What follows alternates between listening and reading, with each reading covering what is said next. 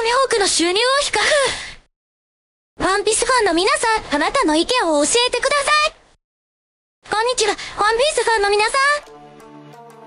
今回は、ルフィとミホークの収入について比較してみたいと思います。ワンピースの世界では、ルフィは海賊王を目指して、冒険を続けていますし、ミホークは世界最強の剣士として知られて、うんまんでは、二人の収入にはどのような違いがあるのでしょうか？皆さんの意見を聞かせてくださいベレオ収入について調査によると、ルビの収入は星に賞金クリの金賞金から得られているようです。ガイはカルカスの海賊団と戦い、その成績によって懸賞金が上がっています。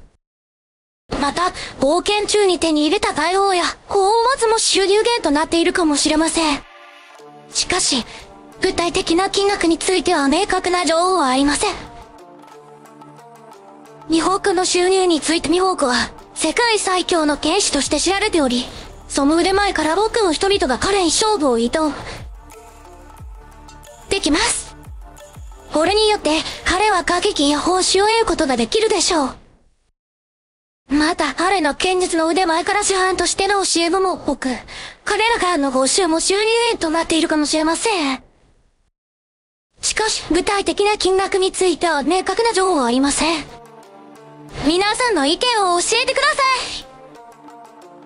いルフィとミホークの収入について皆さんは、どのような意見をお持ちですか？ルフィの合計や成績によって得られる検証金に注目する方もいるかもしれませんし、ミホークの剣術の手前から得られる、報酬に注目する方もいるかもしれません。あなたの意見をぜひ教えてください。以上は、ルフとミホークの収入を比較するための文章です。皆さんのコメントをお待ちしています。動画をご覧いただきありがとうございます。この動画が気に入っていただけましたら、ぜひ、あなたのコメントもお待ちしています。